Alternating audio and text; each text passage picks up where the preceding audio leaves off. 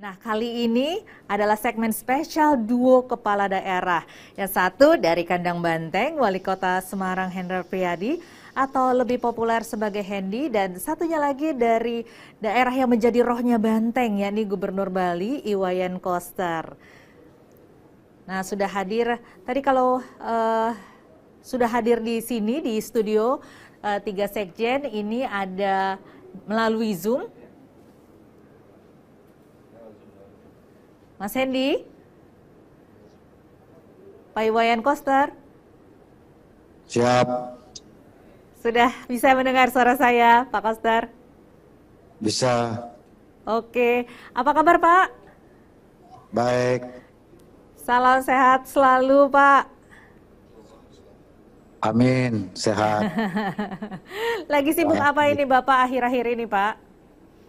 Lagi apa yang menjadi sibuk concern? COVID-19. Hmm, ya. Lagi meningkat soalnya. Betul.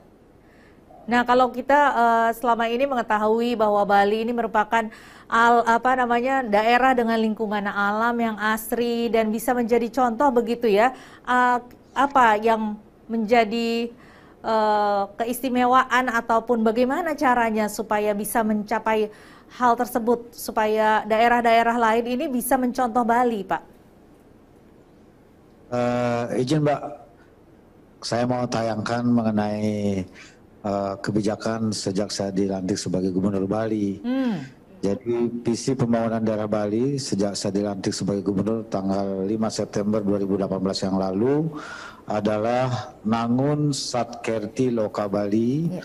melalui pola pembangunan semesta berencana menuju Bali era baru yang mengandung makna menjaga kesucian dan keharmonisan alam Bali beserta isinya untuk mewujudkan kehidupan kerama Bali yang sejahtera dan bahagia sekala sekala sekala niskala menuju kehidupan kerama dan bumi Bali sesuai prinsip Trisakti Bung Karno.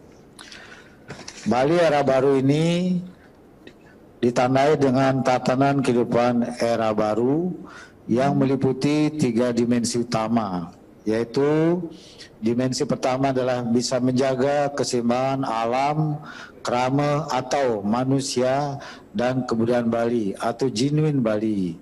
Dimensi kedua bisa memenuhi kebutuhan dan harapan aspirasi kerama Bali dalam berbagai aspek kehidupan.